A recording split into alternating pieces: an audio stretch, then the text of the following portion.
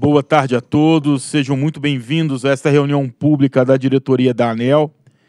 Cumprimento aqui os diretores presentes, diretor Sandoval, diretora Elisa, diretor Elvio, diretor Efraim deve se juntar a nós ao longo da reunião.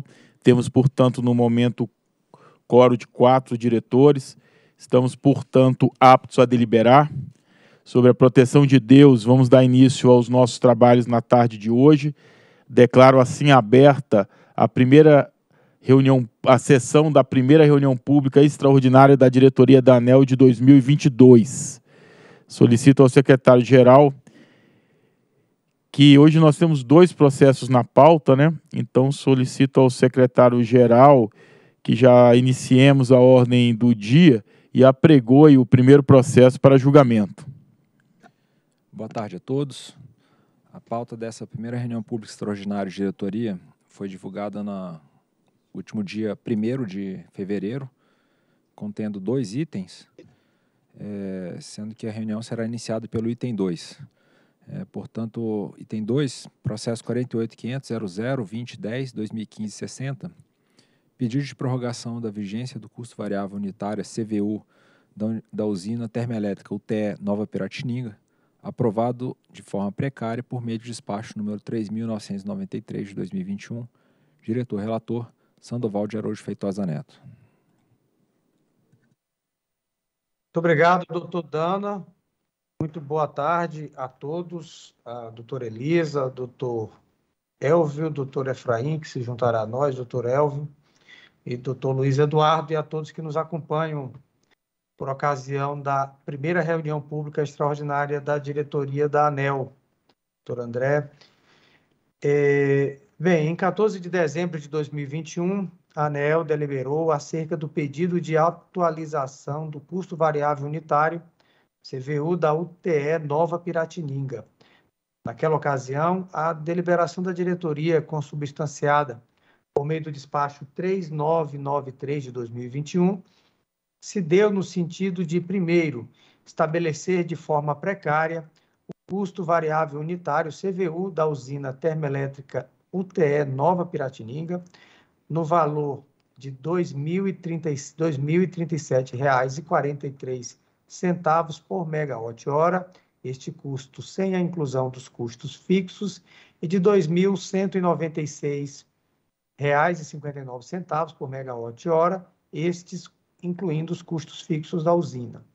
E dois, determinar ao operador nacional do sistema elétrico a aplicação do referido CVU para fins de planejamento e programação da operação eletroenergética do Sistema Interligado Nacional, compreendido entre o período de 15 de dezembro de 2021 a 31 de janeiro de 2022, e pela Câmara de Comercialização de Energia elétrica, CCEE, para fins de contabilização da energia da geração verificada no referido período. Em 27 de janeiro de 2022, a Petrobras, por ser por meio da carta 96, encaminhou nota técnica versando sobre o preço do gás natural praticado nos contratos interruptíveis com as UTS Merchan de terceiros e com as UTS Merchans da Petrobras. Em 28 de janeiro de 22, a Petrobras, por meio também de carta essa número 100, solicitou de maneira provisória e excepcional que esta diretoria avaliasse a possibilidade de prorrogar, a partir de 1 de fevereiro de 2022, a vigência do CVU estabelecido a título precário no valor de R$ 2.037,43 por megawatt-hora, constante do despacho 3993 de 2021, até que a ANEEL delibere acerca do mérito do pleito original de revisão do CVU da UTE Nova Piratininga. Senhores diretores, este é o relatório. Vamos ouvir a Procuradoria-Geral da agência. Boa tarde, senhores diretores, senhora diretora Elisa, secretário-geral. É, a Procuradoria vai deixar de se manifestar nesse caso específico por não haver uma questão jurídica controvertida. Muito obrigado, doutor Luiz Eduardo. Bem, é, senhores diretores, doutora Elisa, O presente processo trata da análise do pedido de prorrogação da vigência do custo variável unitário da usina termoelétrica UTE Nova Piratininga, que fora aprovado de forma precária por meio do despacho 3993 de 2021. A decisão que encaminha no sentido de prorrogar o custo variável unitário, CVU, estabelecido de forma precária da usina, em referência, no valor de R$ 2.037,43 por megawatt-hora, neste caso sem incluir os custos fixos, e de R$ 2.196,59, estes incluindo os custos fixos, por um período adicional de 45 dias, contados a partir de 1 de fevereiro de 2022. Conforme indicado no voto por mim proferido e aprovado por esta, por esta Corte, em dezembro de 21, o pedido de atualização do CVU da UTE Nova Piratininga não veio acompanhado de instrumento contratual relacionado à aquisição de combustível para a geração de energia daquela usina termoelétrica. Como esclarecimento, a Petrobras informou que se trata de uma relação de autoimportação de gás, dado que a UTE Nova Piratininga pertence à própria Petrobras, empresa nesta relação comercial que também fornece o gás natural.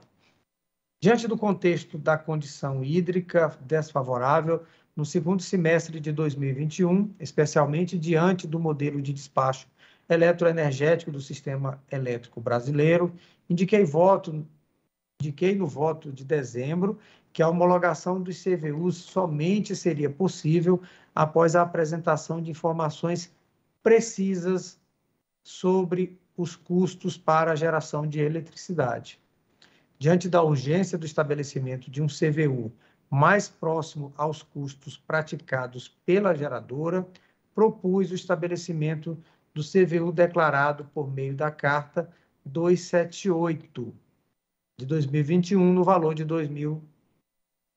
2.037,43 por megawatt-hora, de forma precária até que fosse apresentado, num prazo de 45 dias, contrato firmado entre as partes comprovando o suprimento de gás, conforme a transcrição seguinte do voto aprovado por este colegiado.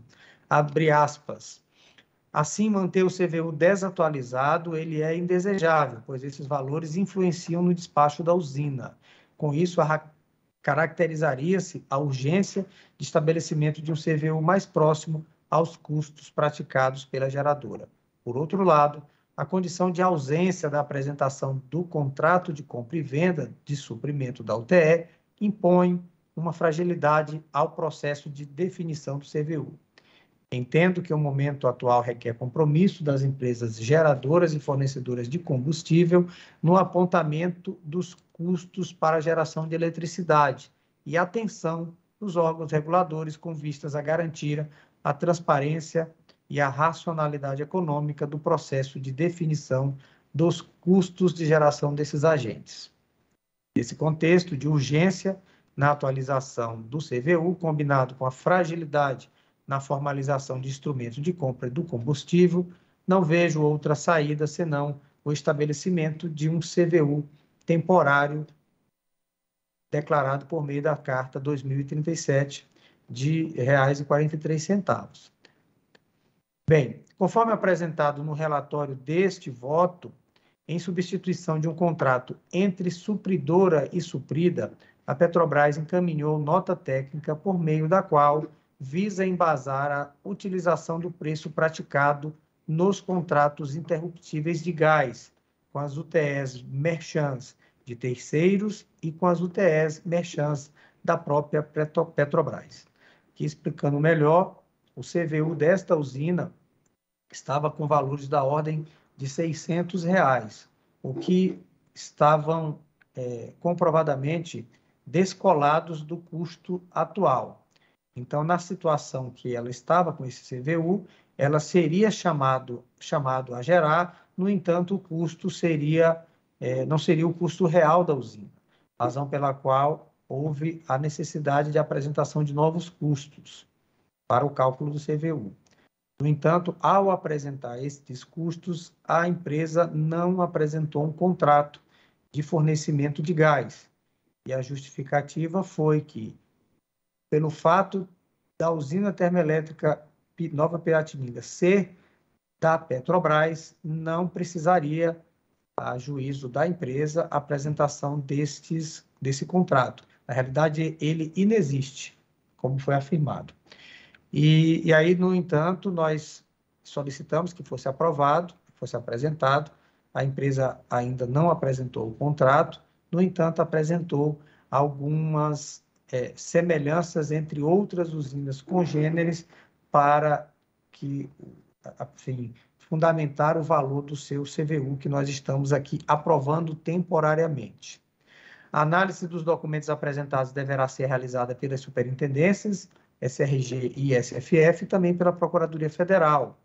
Por outro lado, o prazo de aplicação do CVU precário, estabelecido nos termos do despacho 3993 de 2021, encerrou-se em 31 de janeiro de 2022.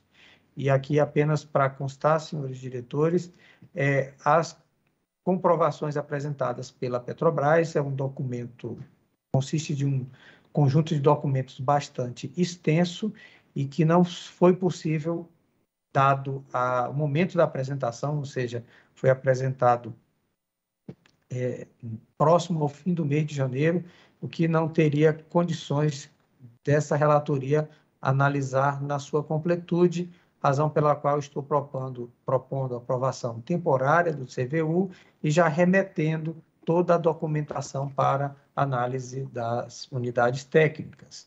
Feito esses esclarecimentos, eu peço licença aqui para fazer a leitura do dispositivo do voto.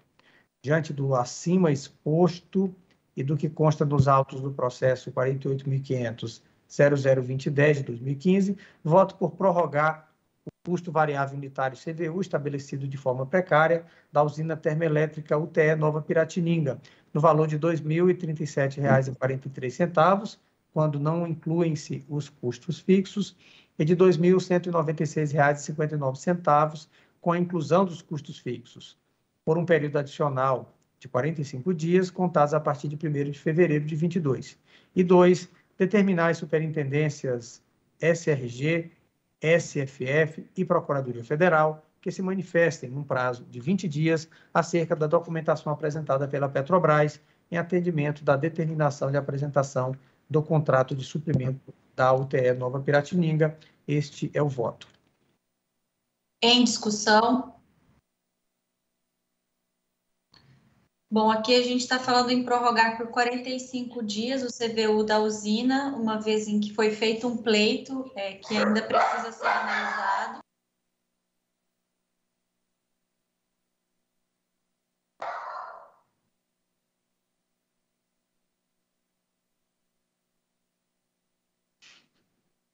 Senhores diretores.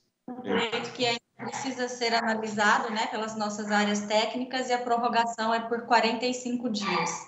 É isso, diretor Sandoval. E aí, em 20 dias, as áreas técnicas elas trarão aqui para a diretoria a sua análise para que a gente delibere o CVU. Perfeito. O prazo de 45 dias é, é para que a diretoria tenha um tempo hábil de avaliar as, Não. as análises não, na realidade, o prazo de 45 dias que, que eu estou concedendo, é, na realidade, não é bem um prazo. É, nós estou sugerindo que o atual CVU da usina fique vigente por 45 dias, e aí é o tempo que eu estou determinando que em 20 dias as áreas concluam as análises, para que na sequência, espero antes dos 45 dias, nós já, já aprovemos o, o CVU definitivo dessa usina. Perfeito. Bem, em votação. Eu acompanho o voto do relator.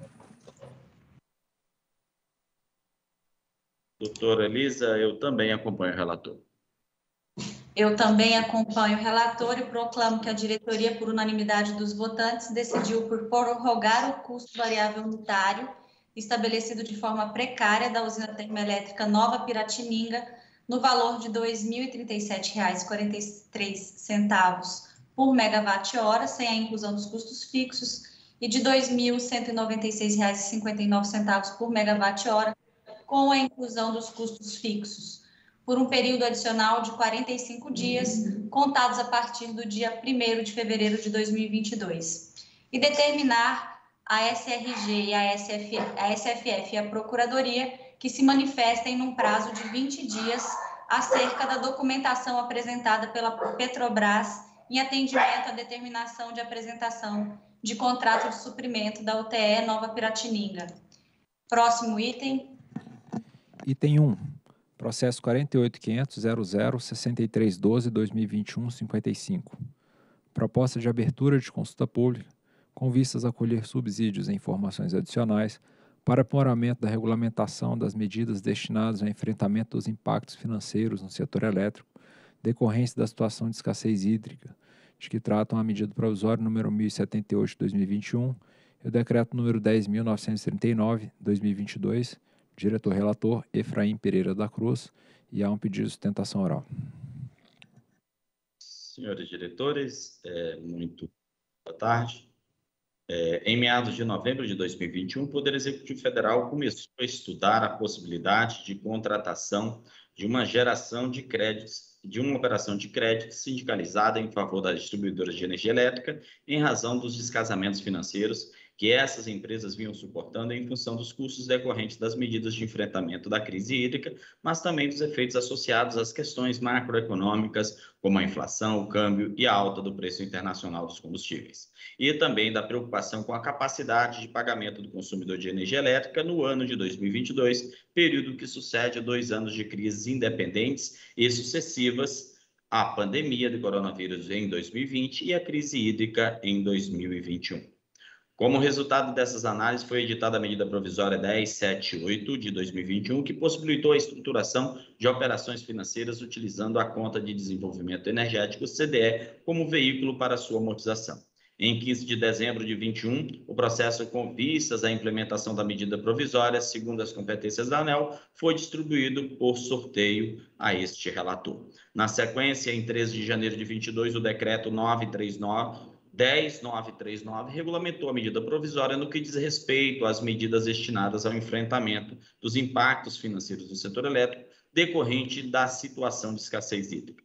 Como fato relevantes a presente instrução, cumpre também destacar que a Câmara de Regras Excepcionais para a Gestão Hidroenergética, criada por meio da medida provisória 1055 de 2021, emitiu em 31 de agosto de 2021 as resoluções número 2 e número 3, instituído o programa de incentivo de redução voluntária do consumo de energia elétrica e determinando a ANEL a implementação do patamar específico de bandeira tarifária denominado bandeira escassez hídrica no valor de 142 reais e também determinou em 9 de setembro do mesmo ano a realização do que chamamos de procedimento competitivo simplificado para a contratação da reserva de capacidade nos termos do parágrafo 1 e 2 do artigo 4 da medida provisória 1055, com vistas à otimização do uso dos recursos hidroenergéticos do Sistema Interligado Nacional e para o enfrentamento da situação de escassez hídrica, a fim de garantir a continuidade e a segurança do suprimento energético do país. Diante desses elementos, o tema foi analisado pela, na ANEL, pela SGT, SRM, SRG, SFF e SRD, contando ainda com apoio de outras unidades. Tal análise resultou na emissão da nota técnica número 82 de 2022, de fevereiro por meio da qual as superintendências apresentaram proposta para estimar os limites máximos de operações financeiras relacionadas à conta de escassez hídrica, regulamentar o ressarcimento ao consumidor dos custos acessórios da conta de escassez hídrica pelas concessionárias e permissionários de serviço público. Senhores diretores, é o que nós temos a relatar. A sustentação oral será apresentada pelo senhor Ricardo Brandão Silva, representante da Associação Brasileira de Distribuidores de Energia Elétrica, ABRAD.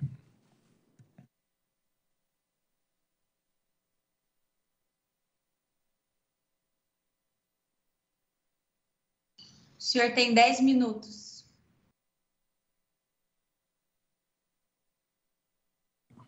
Bom, senhora diretora, senhores diretores, é, todos sabem aqui, vivenciamos um, uma crise hídrica, especialmente em 2021, bastante severa, a maior é, crise hídrica em 91 anos de, de, de série histórica. E por uma infeliz coincidência, essa crise hídrica também foi acompanhada por um momento de máxima é, a, aumento de preços de combustíveis no mercado internacional. Como houve uma necessidade de aumento é, expressivo da geração termoelétrica e também da, da importação, a conjugação desses fatores fez com que o, as despesas com compra de energia, com importação de, de energia e com encargo de serviço do sistema fosse bastante expressiva e despesa essa que não tinha a correspondente cobertura tarifária.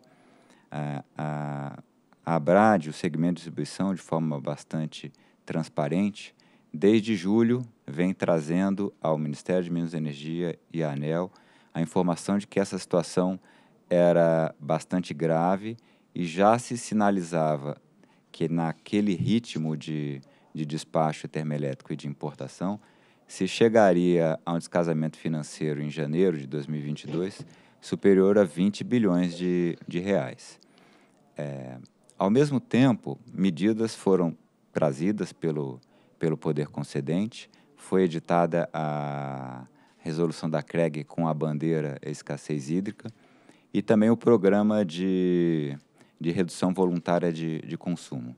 Mais uma vez, o segmento de, de distribuição é, compareceu e, e, deu a sua parcela de contribuição nesse, nesse debate, é, fez uma campanha de consumo consciente de energia e também se envolveu na implantação do programa de bônus de redução voluntária de, de consumo. Os resultados dessa, dessa campanha de consumo consciente foram também bastante significativos, né? Um índice de favorabilidade de 88%, ou seja, os consumidores é, acompanharam a campanha, perceberam as duas mensagens-chave de redução de, de consumo e também do pagamento do bônus pela redução do, do consumo. Isso fez com que 92% dos, dos entrevistados, dos consumidores, é, tivessem adotado pelo menos uma ação de redução de consumo e 75% dos, dos consumidores adotaram pelo menos quatro ações de redução de consumo. Então, de fato, a contribuição do segmento de distribuição nesse, nessa situação foi bastante expressiva.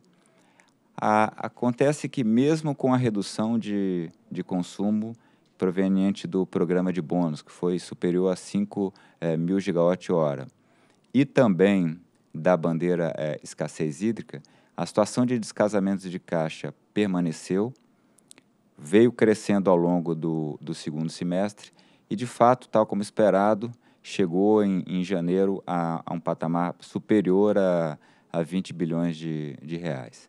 Para a gente ter uma perspectiva desse, desse valor, isso é maior do que o descasamento de caixa em 2014, quando foi editada a conta, a conta CR, e maior também do que em 2020, quando houve a, a conta Covid.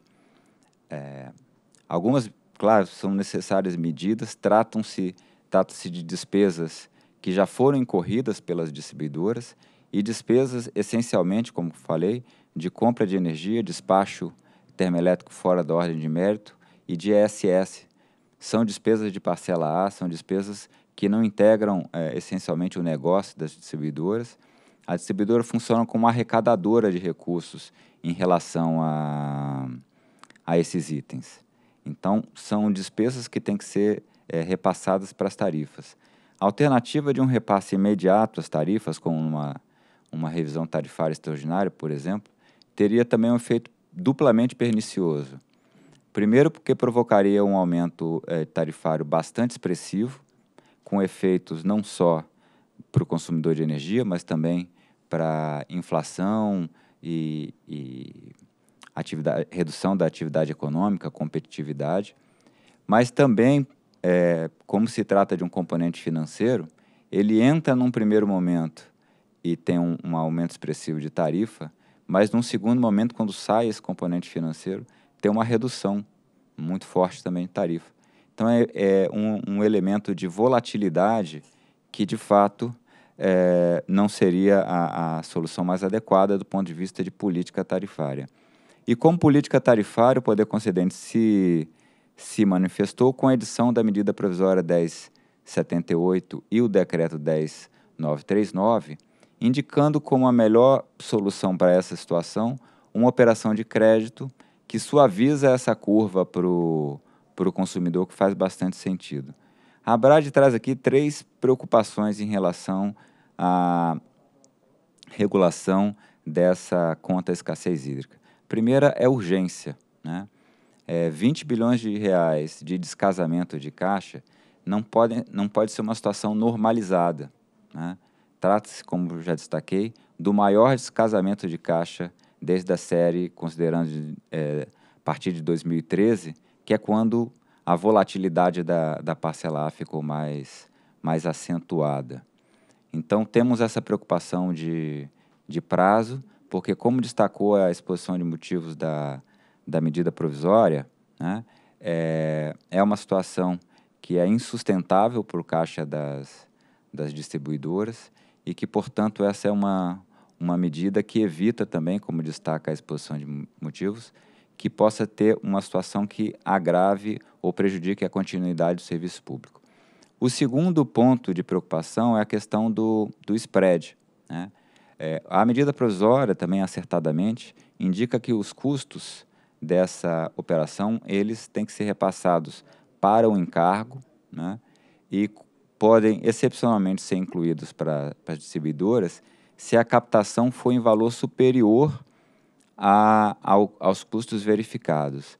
Das despesas indicadas na, na medida provisória, como diferimento, importação em julho e, e agosto de 2021 e o pagamento do bônus, tratam-se de despesas já conhecidas. Então, não há como ter uma captação superior ao custo verificado.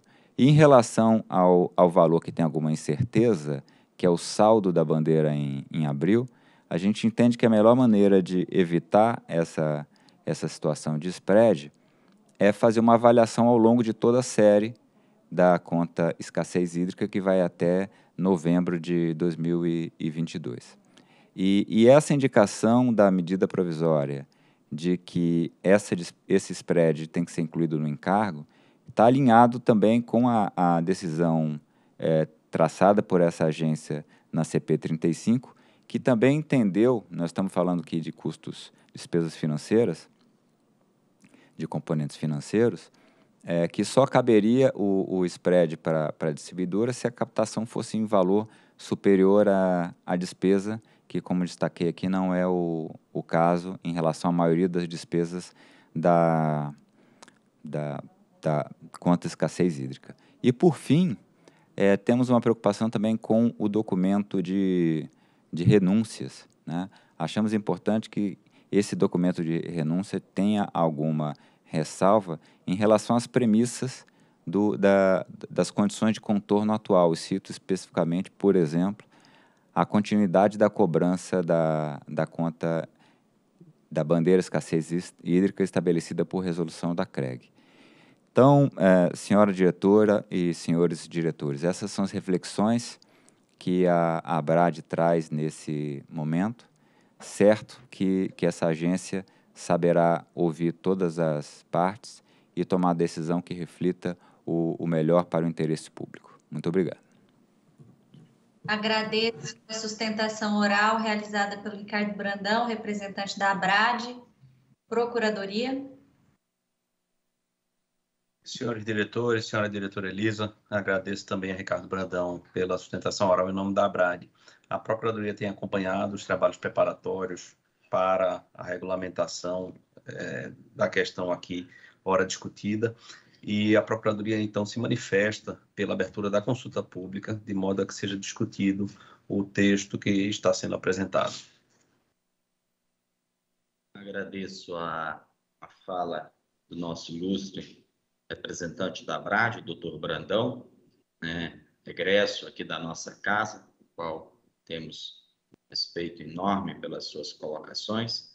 Agradeço também as ilustres palavras do nosso também doutor procurador, doutor Luiz Eduardo, qual também desde já agradeço todo o apoio que a Procuradoria Federal tem dado na instrução deste processo, que sabemos aí de todas as nuances que circundam a tomada de decisão do regulador no tocante a essas operações estruturadas, cuja doutora Elisa também já teve recentemente como relatora da conta Covid, que foi algo até bem mais expressivo do que ora nós estamos aqui a deliberar. Eu solicito, doutora Elisa, e ao nosso secretário-geral que coloque a apresentação, né? Solicitei que seja feita uma apresentação dos nossos técnicos, porque realmente na apresentação poderá ser muito mais claro e muito mais elucidativo do que a leitura aqui do nosso voto. Então, peço aí ao doutor Ricardo Dana que coloque a apresentação.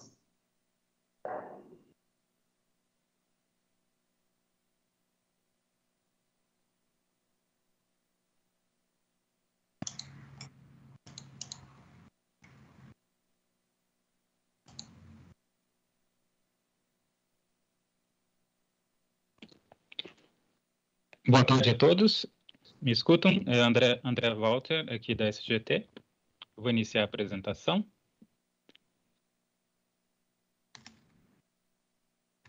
Na escuta? Desculpa. Sim, André, Sim? pode Perfeito, seguir. perfeito. Vamos lá. É, visto que o diretor já fez uma introdução sobre a política pública e na própria fala do Dr. Ricardo Brandão também. A gente vai abordar aqui aspectos mais operacionais e diretos aí da implementação da conta de escassez hídrica. É... Próximo slide. Pronto. É, então, o objeto desse processo é a conta de escassez hídrica, que foi prevista no decreto 10.000 10939, né? O decreto indica aí como medida de enfrentamento dos impactos financeiros do setor elétrico decorrentes dessa situação de escassez hídrica, a captação de recursos para fazer frente a uma série de despesas conjunturais. Então tem a figura de um empréstimo, algo semelhante ao que aconteceu na conta Covid. Então, cabe à ANEL aqui é, proceder à regulamentação de aspectos complementares da gestão dessa conta escassez, é, inclusive quanto à repercussão tarifária. É, em, em, atribuições específicas quanto ao empréstimo, compete à ANEL também definir o limite total da captação de recursos, entre outros aspectos que também vão ser explorados por outros colegas da agência.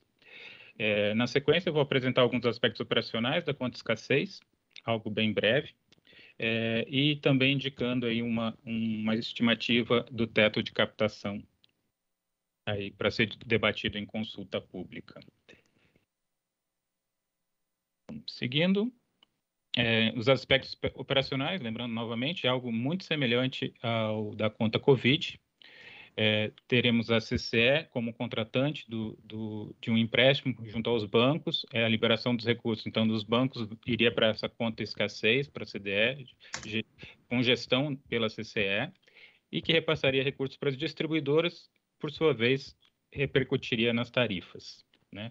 O contrato e as parcelas de repasse dependem de aprovação e homologação da ANEL. Essa é a proposta que está sendo submetida à consulta pública. O montante a ser contratado depende da solicitação das distribuidoras. Na mesma linha da conta Covid, tem um termo de adesão e teria uma limitação ao teto definido pela, pela agência. Na sequência, o pagamento de empréstimos seria por cotas mensais. A, a sugestão colocada é que seja a partir do processo tarifário de 2023 Dessa forma, se constituiria até lá, é, a, a, partir, a partir do, da inclusão nos processos tarifários, constituiria uma reserva de garantia, mantida lá junto à CCE na conta escassez, e posterior amortização até a quitação. O prazo total da, da operação não, tá, não é sugerido pela, pela agência, vai depender da negociação da CCE junto aos bancos. É, o, o, pagamento, esse pagamento do empréstimo proposto é, seria concomitante ao repasse tarifário, e do ponto de vista dos consumidores, então a gente teria, num primeiro momento, a inclusão dos, dos recursos recebidos pela distribuidora nos processos tarifários de 2022, como um financeiro negativo, que propiciaria, então, um, um alívio tarifário neste ano, né, dado toda essa concentração de despesas aí que o decreto visa é, combater, né, essas despesas conjunturais. É, e, na sequência, a partir do processo tarifário de 23, os consumidores começariam a ter nas suas faturas, né, o encargo, um encargo, o encargo CDE escassez hídrica, semelhante ao encargo CDE Covid, é, até a quitação das obrigações. Essa seria a operação. Quanto às despesas totais, os custos passivos de inclusão nessa operação financeira, o decreto foi bem taxativo. É, seriam inclu, incluídos para definição do teto o saldo da conta bandeiras em abril de 2022. Esse item será detalhado pela SRG, como foi feita essa previsão. É, despesas com importação aprovadas para julho e agosto, que em geral não tiveram ainda repasse para as tarifas, então poderia ser objeto desse, dessas operações financeiras. As despesas incorridas com o programa de redução voluntária do consumo de energia elétrica, que atuou entre setembro e dezembro, e que neste momento a gente tem uma previsão com base em informações da BRAD, estamos colhendo informações adicionais ainda até amanhã, recebendo informações das distribuidoras para identificar o número que ao final da consulta pública a gente teria um número mais firme desse, desse teto para esse item. Né? O programa de redução voluntária, a gente está falando só a parcela é, alocada aos consumidores, é, o custo alocado aos consumidores cativos.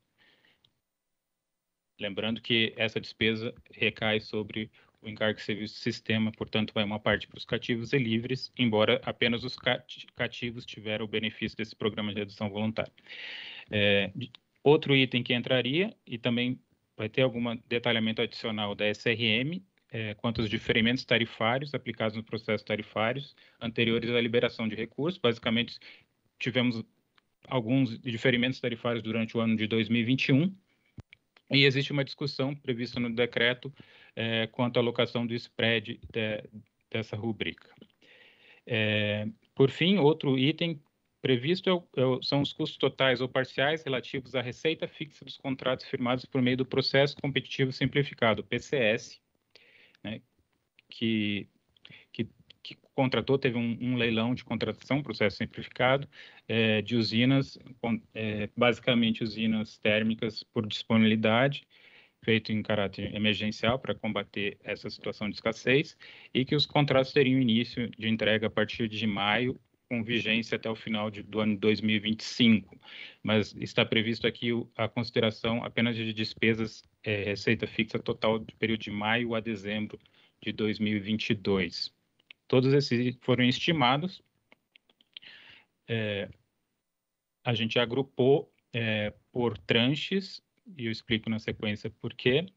É, sendo a primeira com liberação que seria à vista, que incluiria o saldo das contas bandeiras, aqui identificado como 1,5 bilhões ao final de, do mês de abril, a importação de julho e agosto 21 de 800 milhões, o bônus esperado aqui uh, de redução voluntária associado aos consumidores cativos de 1,7 bilhões e os diferimentos de 2021 de 1,6 bilhões. Totalizaria, então, um teto aqui de 5,6 bilhões para essa primeira tranche. A segunda tranche é o debate do PCS. É, ele, ele tem um, um, custo anual, uma receita fixa anual, conforme informação do leilão, de 11,7 bilhões, que considera, então, só a parcela do, é destinada aos consumidores cativos, observando a proporção de maio e dezembro, um custo que seria de 5,2 bilhões. Mas esse item, ele cabe uma análise complementar, assim que está é, sinalizado na, na instrução é, que a ANEL poderia avaliar a inclusão ou não dessa rubrica. Por enquanto, ela está tratada como uma segunda tranche, mas a gente entende que ela tem, deve compor, ao final dessa consulta pública, de certa forma, o teto total, o, o teto né, máximo da operação. Né? Então, esses são os números que a gente teria para apresentar. Tem vários aspectos operacionais que eu não detalhei aqui, estão todos instruídos na nota técnica e na resolução, é, aspectos de é, spread, movimentação de recursos, e, e, certamente outras áreas poderão agregar algumas informações adicionais, e certamente durante o período de consulta pública é, poderemos aprimorar esses itens. É, enfim, essa era, seria a contribuição da SGT. A gente iria até aqui. Eu passaria agora a fala para a SRG, que trataria da previsão do salto das contas bandeiras. Obrigado, André. É, me escutam? Bruno Goulart falando pelo Sim. SRG. É, boa tarde, diretora. Boa tarde, diretores. Último minuto da tarde. É, vamos então detalhar como a SRG chegou a essa estimativa de 1,5 bilhão de reais. Próximo slide, por favor.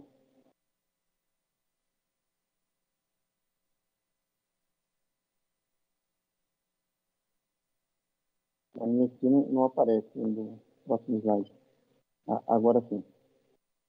Então, nesta lâmina, a gente reúne o conjunto de premissas, o fator mais importante do ciclo cálculo, que foram considerados nessa estimativa. Duas premissas do MS. A primeira, a política operativa que o operador vem utilizando, vem balizando é, o CMSE né, ao longo de toda a crise, e a, em, adesão ao que dispôs o decreto, nesse caso, escolhendo um cenário é, hidrológico diverso.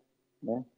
Além disso, é, procurou-se uma similitude climática sazonal, né, do fenômeno Laninha que a gente atravessa atualmente, e aí buscou-se no histórico essas duas características e o ONS, então, estipulou a precipitação do ano de 2018 como o melhor panorama para tanto. Essa precipitação é simulada nas condições de umidade hidrológica que a gente tem hoje nas principais bacias do sistema interligado. Além disso, veio também do ONS a determinação dos máximos volumes de geração termoelétrica alocáveis no sistema uma premissa super importante, um teto máximo de geração, é, considerando questões de contabilidade e também o cenário hidrológico. Bem, feito isso, é, a gente também colheu duas premissas do próprio comitê, que desde quando o OMS processou a simulação, avançou, o comitê, o CNC, avançou em algumas decisões, e a gente incorporou elas aqui, e elas é, é, configuraram mais camadas, então, para é, os cálculos da, da porta-bandeira. O primeiro deles foi a fixação, o teto, limite de geração termoelétrica no fim, independentemente do que o INF preconizou mês a mês, de 15 gigawatts médios. E, além disso, já havia decisões pretéritas do CNCE marcando, determinando um despacho compulsório de algumas termoelétricas. Né? A gente cita a usina de Cuiabá, Termonorte 1 e 2, e o parque de usinas movidas a GNL. Isso tudo foi considerado aqui como decisão de compulsoriedade no despacho tá? e para efeitos e, consequentemente, de custos. Além disso, é, o CNCE, em decisão de alguns dias atrás, em ata, definiu também limite CVU para geração termoelétrica no SIM em mil reais por megawatt-hora.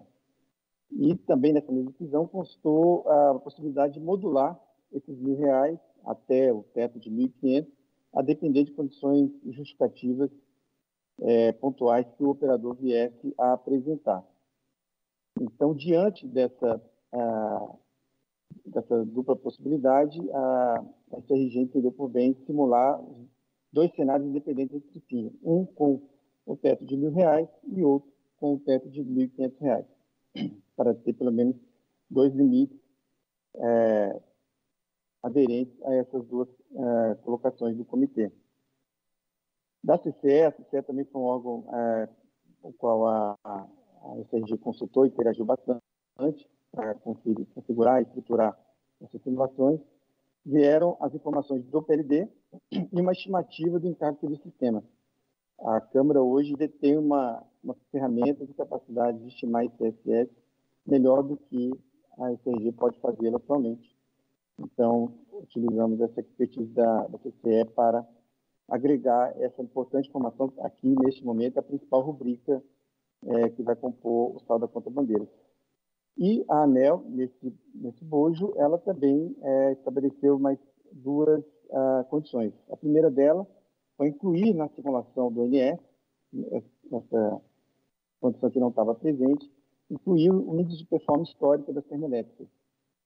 Né? Isso, com isso, a gente acredita que a gente tem uma aderência, a gente pode estimar melhor o que esperar das plantas nessa janela é, de estimativa, particularmente no, entre os meses de janeiro e abril. E, além disso, Aí isso é uma condição é, bem mais recente. A área técnica da agência também achou bem simular cenários em que não houvesse geração fora da média de segurança energética nos subsistemas Norte e Nordeste, pelo menos até o mês de abril, diante das condições conjunturais que vem se verificando nessas duas regiões. E a gente vai detalhar mais à frente quais seriam elas. É, próximo slide, por favor.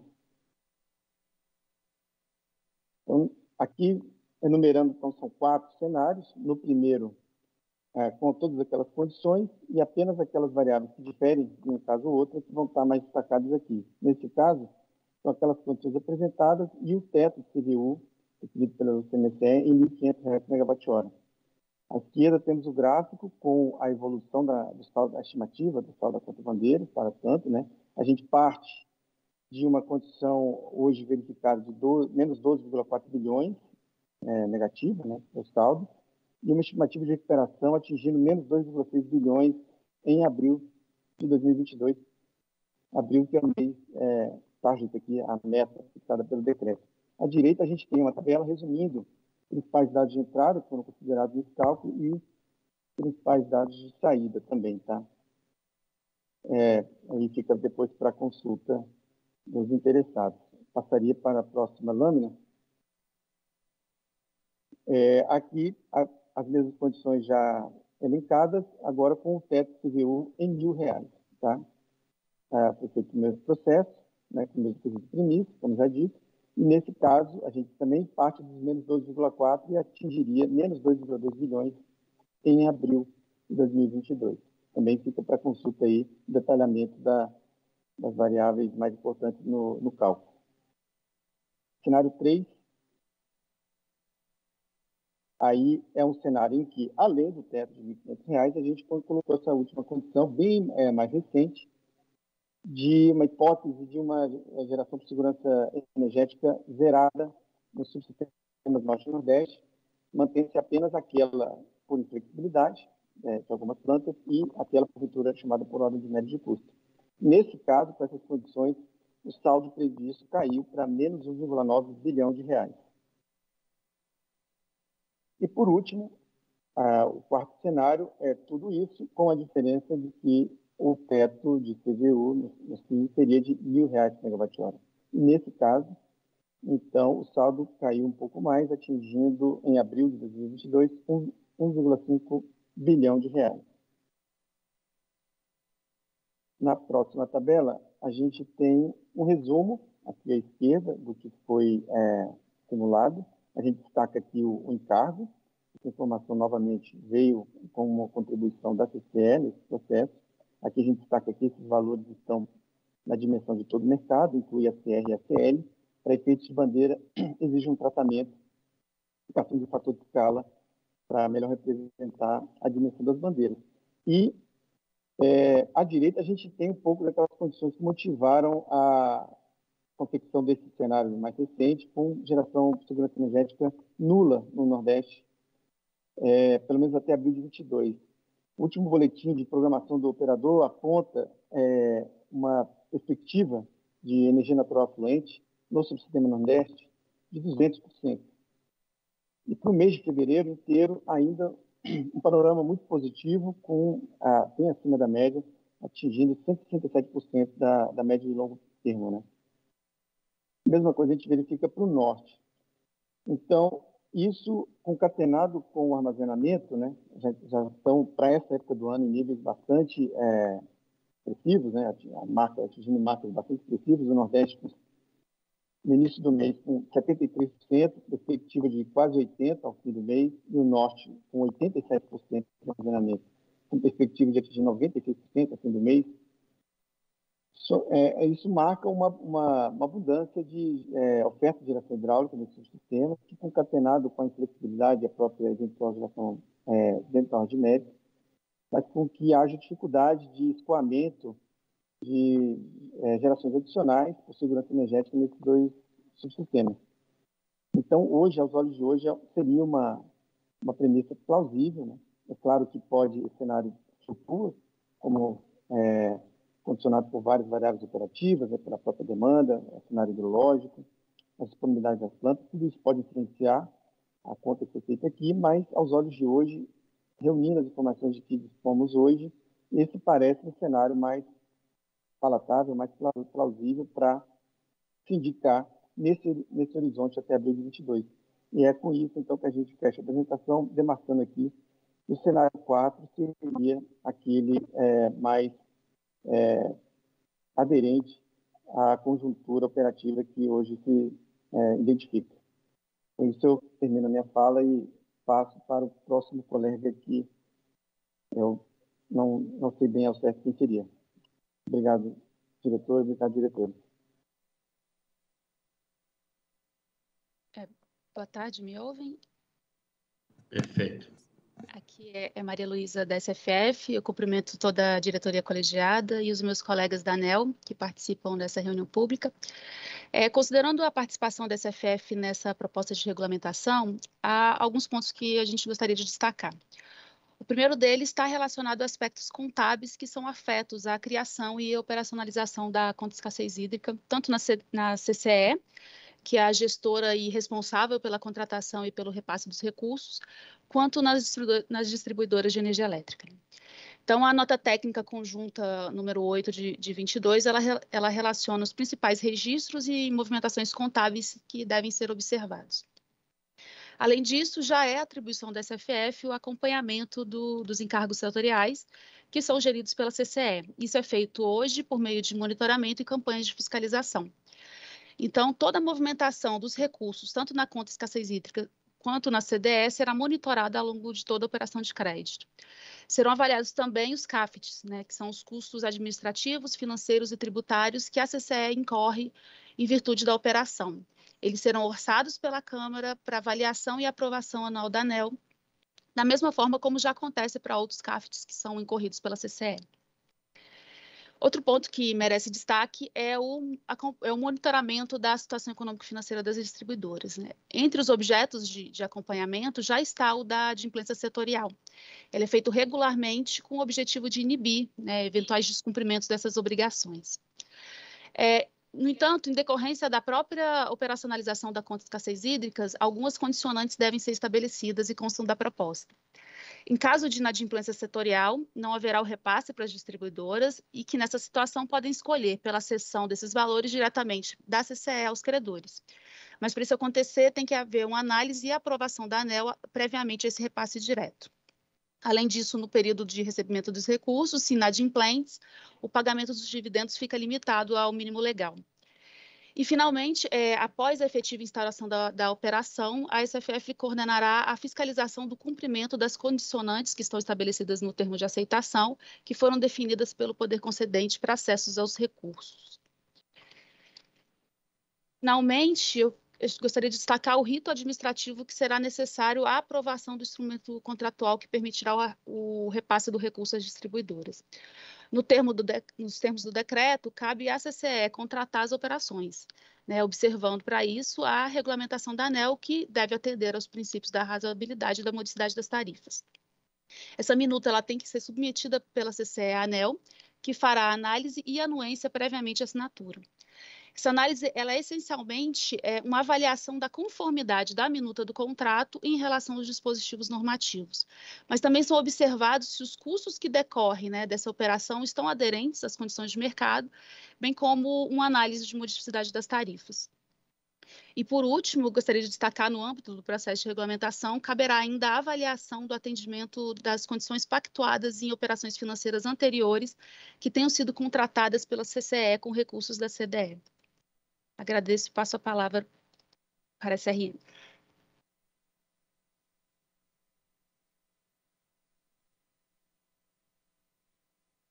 Boa noite a todos. Boa noite à diretoria colegiada, aos colegas da ANEL e todos que assistem. Eu vou apresentar é, a proposta a ser colocada em, audiência, em consulta pública sobre a regulamentação do artigo 7 do Decreto 10.939, de 2022, é, no que tange o a, tratamento dos diferimentos, né? O decreto, então, estabelece que a ANEL deverá definir é, em regulamento a alocação do, do custo das operações é, financeiras. É, e para isso deverá considerar o benefício para os consumidores de energia elétrica, a segurança jurídica e a sustentabilidade das concessionárias e permissionárias de distribuição. É, em relação aos diferimentos, é, eles são, é, são diferimentos ocorridos em 2021 ou até o momento da, do repasse dos recursos, né? a captação da, da, dos recursos financeiros. É, esses diferimentos eles podem ser relativos a itens de parcela A ou de parcela B, sendo que as taxas de atualização variam né, a cada caso. Então, no caso de parcela A, eles são atualizados monetariamente pela Selic e parcela B são medidos pelo IPCA, são atualizados pelo IPCA. É, a proposta, então, para a abertura da consulta pública leva em consideração é, que, de análise de benefício, né, que a preferência do consumidor para pagamento das suas obrigações é, ao longo do tempo não é observável. Então, o que a gente faz aqui é uma comparação da situação antes e depois da operação financeira, em termos de custo, né? E falando de custo, vários fatores impactam o custo para o consumidor, na estruturação dessa operação financeira, como, por exemplo, o prazo, a reserva de liquidez da conta, a carência, forma de amortização, forma de reversão desse componente financeiro no processo tarifário, data do processo tarifário e a taxa propriamente dita. É, dessa forma, é, enquanto a gente não tem ainda todas as informações, para manter as condições atuais do consumidor em relação ao que ele já paga é, da taxa de diferimento, é, com a realização dessa operação financeira, seria necessário alongar essas condições de financiamento do diferimento pelo prazo do empréstimo e que o valor presente líquido entre o fluxo do diferimento e da operação financeira seja equivalente a zero, descontado a taxa atual para o consumidor. Dessa forma, é, a proposta que vai ser colocada para discussão nessa consulta pública com a sociedade é que o, o benefício para o consumidor seria percebido com a realização da operação financeira relativa aos diferimentos se o consumidor arcar com a taxa, é, o indexador atual que ele paga sobre os diferimentos, ou o custo do empréstimo, o que for menor e a distribuidora arcar com a diferença entre a maior e a menor taxa. Essa é a proposta que vai ser colocada, então, é, proposta da área da SRM para a consulta pública, para ser discutida, sobre a alocação dos custos financeiros da, dessa operação financeira no que se refere aos diferimentos. Era isso que eu tinha que apresentar. Obrigada.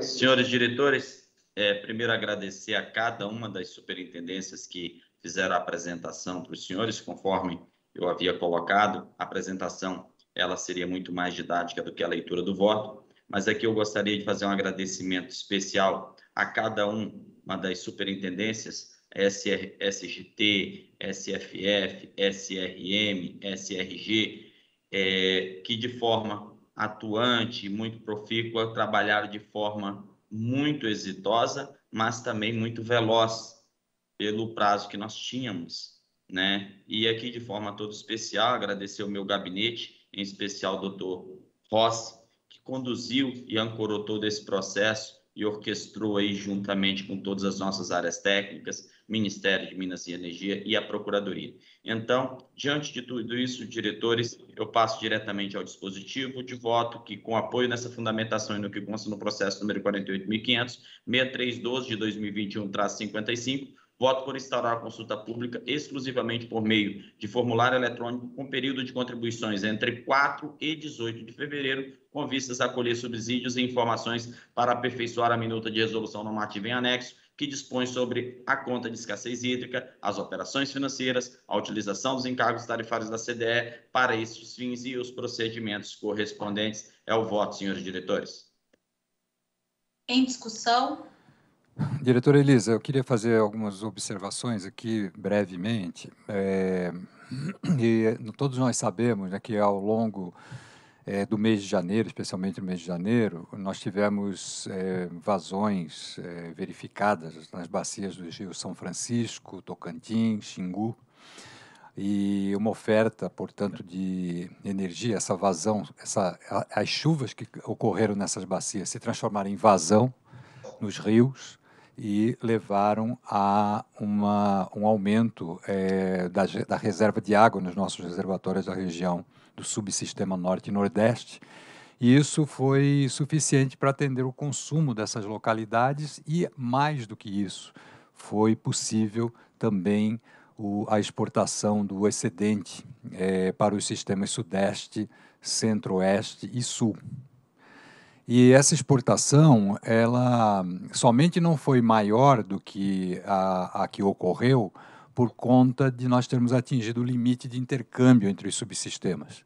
E isso não, não quer dizer, claro que não quer dizer que a, a exportação foi pequena, ao contrário, ela foi, em média, é, o suficiente para atender, por exemplo, a, a em torno de 85% do consumo do sistema do subsistema sul. É, essa oferta do, do norte do, e nordeste, ela foi praticamente em, a, a, partir de fonte renovável. Aliás, somente a partir de fonte renovável, porque nós não tivemos que ligar termoelétricas nesse período, à exceção da UTE Porto de Sergipe, que, por sinal, é, está é, desligada nesse momento. E no presente, atualmente, as usinas do, de Tucuruí, Belo Monte, Três Marias e Sobradinho estão todas vertendo. Isso é muito positivo para o sistema e também para o consumidor, né, que, para os custos de é, é, é, operação do sistema. Portanto, é, é, se em janeiro, né, que é um mês que historicamente não, não é, um, é um mês de, de, de grandes vazões, né, já não foi necessário utilizar as termoelétricas do norte e nordeste, é muito razoável supor que nos meses seguintes, entre fevereiro e abril, como propõe agora o diretor é, Efraim, e agora com os reservatórios em níveis elevados e com, com vazões historicamente maiores, como nós temos acompanhado, todos nós temos acompanhado, do que no mês de janeiro, em especial no norte, as termoelétricas para fins energéticos não serão utilizadas, ainda mais aquelas fora da ordem de mérito de custo. Portanto, eu, eu, eu faço essa referência para, primeiro, parabenizar e acompanhar integralmente o voto do diretor Efraim, e eu, eu, eu, penso que o momento, no momento, essa é a melhor informação que a ANEL possui sobre a operação futura do sistema no curto prazo, que, a meu ver, é a premissa mais adequada para ser utilizada para calcular o saldo da bandeira tarifária ao final de abril de 2022, como propõe o diretor Efraim.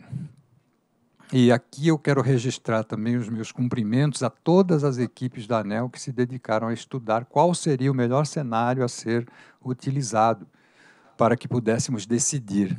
O que estamos fazendo nesta reunião é, hoje. Né, então, quero parabenizar e cumprimentar todas as equipes da agência.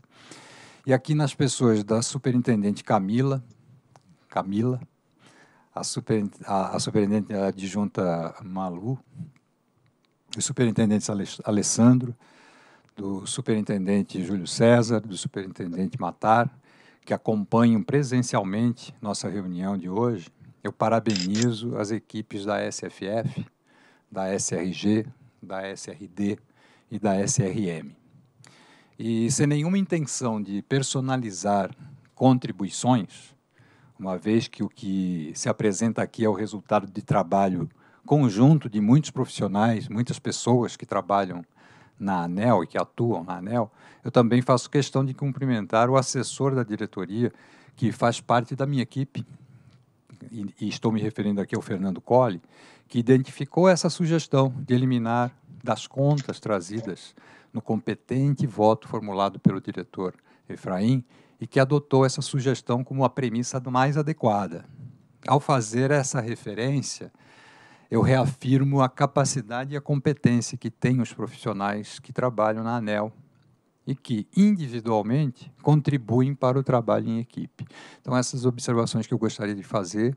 Reconheço também aqui o papel importante que as distribuidoras tiveram ao longo de todo esse processo que nós discutimos ao longo do ano de 2021 que sem dúvida alguma, como fez referência aqui o Ricardo Brandão, que representa, representando a BRAD, é, de fato as distribuidoras tiveram um papel muito relevante, muito importante, entendendo e compreendendo e contribuindo para que nós chegássemos no, no final do ano de 2021 e no começo de 2022 com as condições que estamos tendo. É, e passamos com, com, com, passamos, acho que, é, com louvor, não ficamos de segunda época. Então, eu acho que isso é uma, uma referência que eu quero fazer à, à BRAD e às distribuidoras, mas o que estamos propondo aqui, a meu ver, é, é, a, é a melhor alternativa em termos de, é, em, ter, em, termos de custos e aquilo que melhor beneficia os consumidores. Então, eu quero cumprimentar aqui o, o diretor Efraim e concordar com a sua proposta de voto. Bem, eu também quero agradecer aqui as nossas áreas técnicas, né, pelo empenho nesse processo e parabenizar também o diretor Efraim, né, e todo o gabinete que ficou empenhado nesse processo, foi muito ágil, né, na apresentação de uma proposta de regulamentação do decreto, foi publicado só no dia 14 de janeiro, né. Mas eu aqui gostaria de fazer algumas reflexões sobre essa operação financeira. É, antes de tudo, acho que a gente precisa destacar a importância de uma, de uma avaliação cautelosa do empréstimo, né, uma vez que o decreto reforça de uma forma expressa que a regulamentação da ANEL deve observar os princípios de razoabilidade e de modicidade tarifária. Eu acho que também é bom esclarecer que, que embora a medida provisória 1078 é, ela apresente duas alternativas para fazer frente a esses custos excepcionais que são decorrentes da situação de, de escassez hídrica, aqui a gente está tratando apenas da operação de crédito, né? Essa medida que foi regulamentada no, no decreto 10.939. E vale lembrar também que quando a gente foi surpreendido ali pela pandemia de Covid-19, né, a solução setorial desenhada para enfrentar aquela situação, que foi completamente inesperada, foi a conta Covid. Né? Então, acredito que foi uma captação de crédito importante para a gente manter a sustentabilidade do setor e para evitar que a sociedade sentisse aí os efeitos da pandemia na, na sua conta de energia num momento tão delicado. É, mas a gente, de novo, tem que ter cautela na utilização de instrumentos como esses. Né? Eu tenho é, um especial receio aqui em relação à distorção no sinal econômico para o consumidor que essa nova operação de crédito pode eventualmente causar. Né? Então, a gente está falando aqui de impacto financeiro resultante de uma severa escassez hídrica que foi vivida em 2021. Né? É, a gente vai diluir aí os efeitos da, da falta de chuva do ano passado em parcelas a serem pagas nos próximos anos, né? somado também ao pagamento da própria conta Covid. Eu reconheço o benefício né, que o consumidor vai perceber imediatamente, mas eu não tenho certeza se a situação se sustenta no futuro próximo, mesmo porque a gente não sabe se vai ter novos, se a gente vai ter novos períodos de escassez hídrica. É, bem, aqui tem mais alguns pontos que eu quero trazer, diretor Efraim. É, eu acho que se no, no, setor elétrico, se a gente não cuidar de uma definição de medidas estruturais aí que permitam o enfrentamento dessas interpéries, né, com menores custos, a gente corre sim o risco de ter uma dependência de operação de crédito, gerando aí um efeito de bola de neve. Né? Mas, assim, acho que considerando que a política pública definida na MP e foi definida pelo decreto, eu tenho ciência que a gente precisa regulamentar a matéria e que não resta aí outra alternativa senão abrir essa consulta pública. Mas eu vou tecer algumas considerações aqui. Acho que alguns aspectos da operação de crédito ficaram muito claros do decreto, né, como a necessidade ali de, de previsão de crédito para fazer frente aos diferimentos que são aplicados nos processos tarifários, né, que foram anteriores até a, a liberação de recursos da operação financeira. Por outro lado, essa MP ela condiciona a captação de recursos à prévia aprovação da ANEL, né, o que nos confere uma grande responsabilidade nesse processo. Né, especificamente em relação, em relação aos diferimentos, o decreto ele atribui à ANEL a responsabilidade de alocar os custos da operação de acordo com os benefícios para os próprios, para os próprios consumidores, né? Isso aí considerando a segurança jurídica e sustentabilidade das distribuidoras. E eu acho que a consulta pública vai nos ajudar muito nesse aspecto. Eu acho que a MP ela também ela explicita que caso ocorra a captação de crédito num valor superior ao, ao necessário aí para cobrir os custos de escassez e diferimento, a distribuidora ela deve arcar com os custos e encargos tributários relativos a esse valor excedente. E nesse aspecto, acho que existe uma questão delicada de alocação de risco decorrente da definição dos valores da operação. E ainda em relação ao limite da operação de crédito, acho que embora exista aí a incerteza em relação ao cenário hidrológico futuro, o decreto ele traz de uma forma muito específica o que precisa ser considerado, né? E coube aqui a agência estimar o saldo da contas bandeiras nessa competência de abril de 2022, no horizonte de dois meses à frente, incluir também as despesas do, do programa de incentivo de redução voluntária do, do consumo de energia elétrica, os diferimentos que já foram mencionados os custos de importação que foram homologados pela CREG. Eu acho que esses números ainda devem passar por ajustes nesse período de CP. Considero que, que as decisões mais recentes aí do CMSE quanto ao teto do CVU para despacho da fora, para esse despacho fora da ordem de méritos, ele tem que ser avaliado, né? E a gente vai ver também os dados que a ANEL vai receber é, da, das distribuidoras que são relativos ao programa de incentivo de redução ao consumo.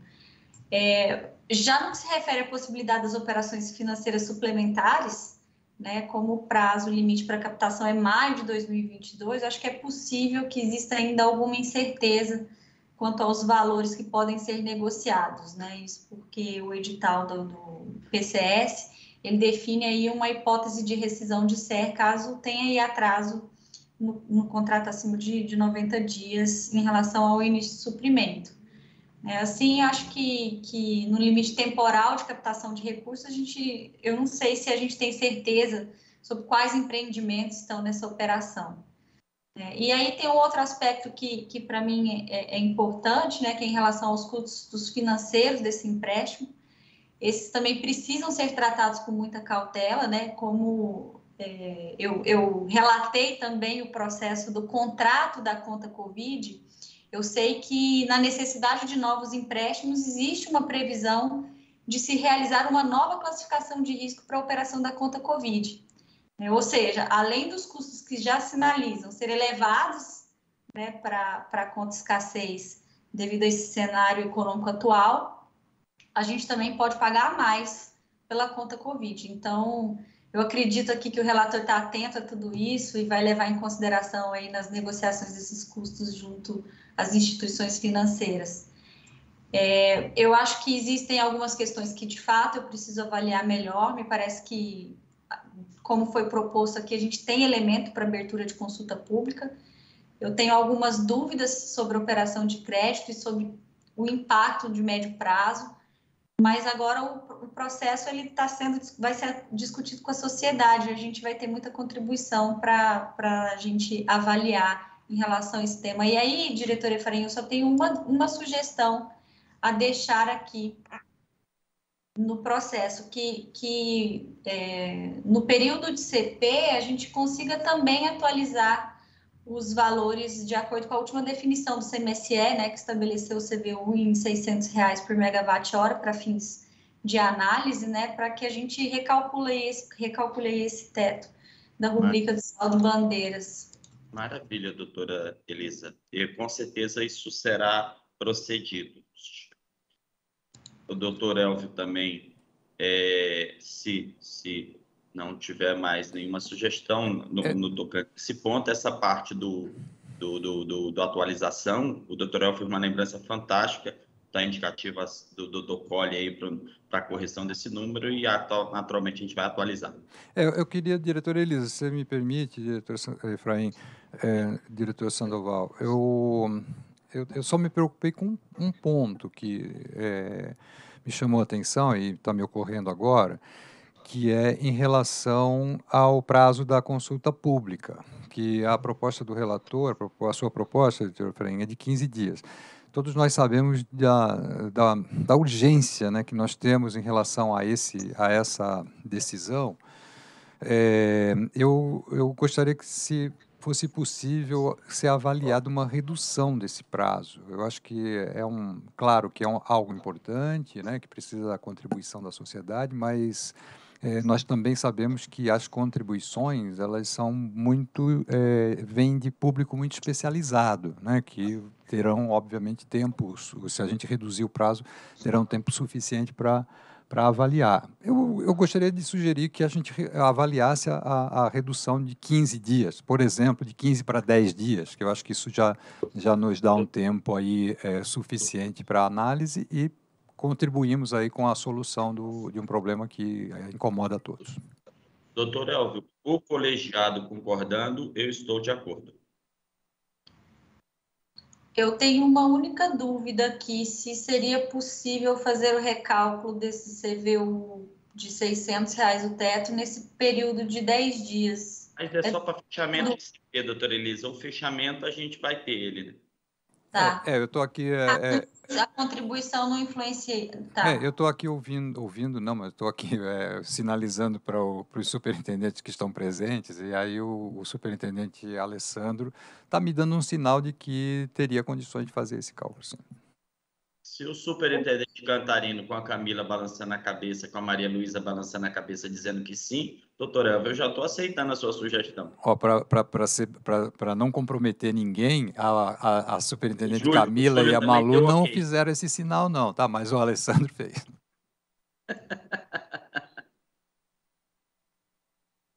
eu fico, doutor Elvio, com a decisão que o colegiado assim melhor achar. Perfeito. Bom, sendo assim. Nada contra, nada contra, nada contra a, contra o acatamento da sugestão do Dr. Elvio. Ok. Bom, sendo assim, é, em votação. Eu acompanho o voto do relator. Eu também acompanho voto, o voto do proposto pelo diretor Efraim. Bom, eu também acompanho o voto do diretor Efraim e declaro que a diretoria colegiada por unanimidade dos votantes decidiu instaurar consulta pública exclusivamente por meio documental, com período de contribuições de 10 dias, se iniciando agora no dia 4, com vistas a colher subsídios e informações para aperfeiçoar a minuta de resolução normativa em anexo, que dispõe sobre a conta escassez hídrica, as operações financeiras, a utilização do encargo tarifário da conta de desenvolvimento energético para estes fins e os procedimentos correspondentes. As contribuições devem ser encaminhadas para o endereço eletrônico disposto neste dispositivo, que constam desse dispositivo. Bem, sendo esse o último processo da nossa reunião extraordinária, declaro encerrada a primeira reunião pública extraordinária de diretoria da ANEL de 2022. Tenham todos uma boa noite. Boa noite.